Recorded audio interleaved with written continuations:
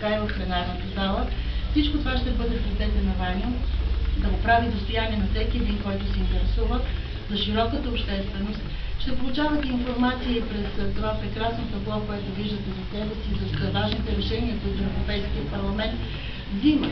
Ето, аз днес много се очудих, идвайки насам и слушам по радиото, че почти никой, например, в България не беше чул за това, че преди този голям дебат по арменски геноцид в Народното събрание, малко преди това Европейския парламент бе прие една много сериозна резолюция по този въпрос за връзка с тази 100 годишнина.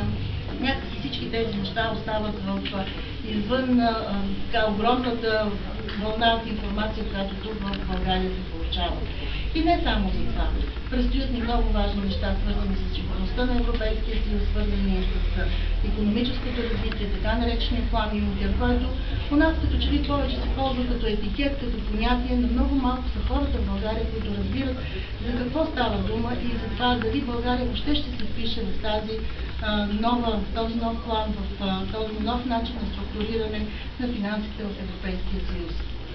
Разбира се, всеки един локален информационен офис и център, какъвто е нашия, има и още една важна задача. Как да направим така, че а, българските проблеми, българските интереси да бъдат устоявани в Европейския парламент.